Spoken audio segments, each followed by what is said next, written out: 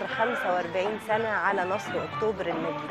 على فكرة أغنية بسم الله دي من أول الأغاني اللي تم آه، كتابتها وتلحينها بمناسبة النصر العظيم اللي حققه جنودنا البواسل على الجبهة في 73 وليها قصة ظريفة جدا إنه آه، بعد ما تم العبور بليغ حمدي راح علشان يسجل الأغنية. فطبعا الإذاعة قافلة والتلفزيون مبنى الإذاعة والتلفزيون كان قافل. فكلم وجدي الحكيم كان رئيس الإذاعة في الوقت ده قال له أقسم بالله هعمل لك محضر لو ما خلتنيش أسجل.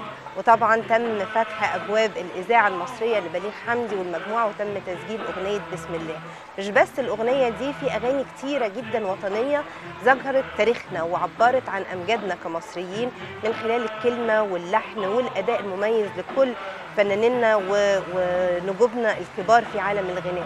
كمان من الأغنية وأوائل الأغاني اللي تم تسجيلها وليها قصة ظريفة جدا كانت أغنية على الربابة. على الربابة طبعا لحنها بليغ حمدي وغنتها وردة والكلمات كانت للشاعر الكبير آه، عبد الرحيم منصور.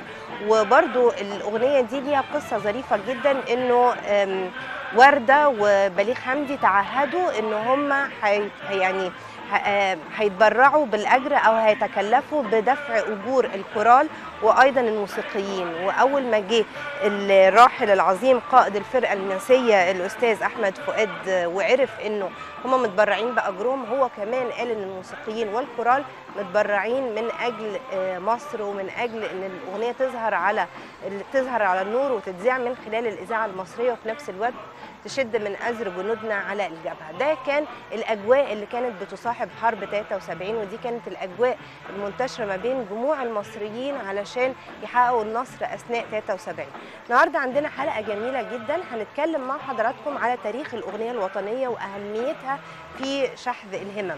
هيكون معانا الدكتورة هدى زكريا أستاذ علم الاجتماع وهنتكلم معاها بتفاصيل أكتر عن الأغاني الوطنية ودورها في الكفاح المصري. وهيكون معانا كمان مجموعة من الشباب وهيصاحبونا النهارده وهنستعيد معاهم الذكريات وهنغني مجموعة كبيرة من الأغاني الوطنية. نطلع فاصل ونرجع على طول نواصل لقائنا مع حضرتك.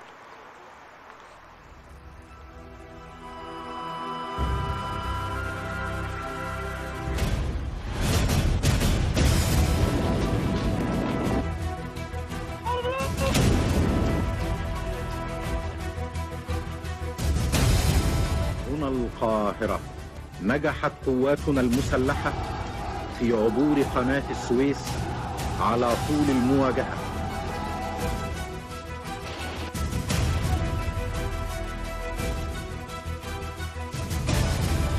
سوف نسلم أعلامنا.